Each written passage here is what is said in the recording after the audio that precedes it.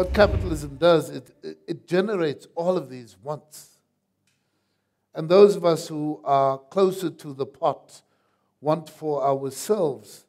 And this creates the chasm in society. And this, I think, is the problem we've got to talk about. It's at the root of this. Um, you see, so, so for all of its successes, capitalism hasn't taught us how we can have restraint because there isn't sufficient of a kind of US coastal lifestyle for all of the world. That's a challenge we've got to deal with. That's a challenge, I think, that gets to the heart of the debate on ethics, on the debate on conduct, because the debate on corruption. I mean, the only reason why people misbehave is because there's no constraint on how much they want to accumulate. The big challenge for us, I think, is how we can construct a political order that is staffed by women and men who care and who want to be accountable. That, I think, is a challenge.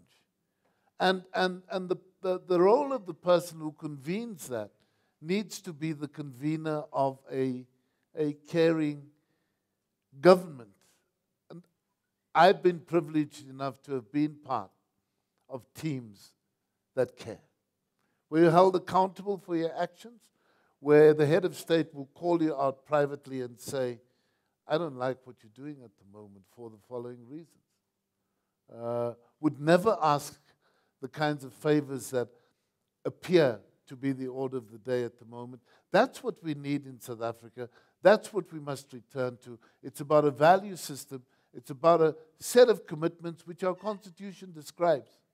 And you can only get there if you actually hold leaders to account and hold their feet to the fire. And that's what isn't happening in this country. Parliament doesn't do it. Uh, we, we've fallen back on the courts.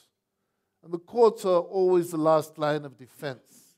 I mean, you don't even have a public protector who can go to court uh, without changing her mind before she gets there uh, we, we, we, we, we're facing real, real difficulties because the institutions are in the state that they are. That's a voice we need. It's about institutions of service and measurements of the quality of service in the lives of people.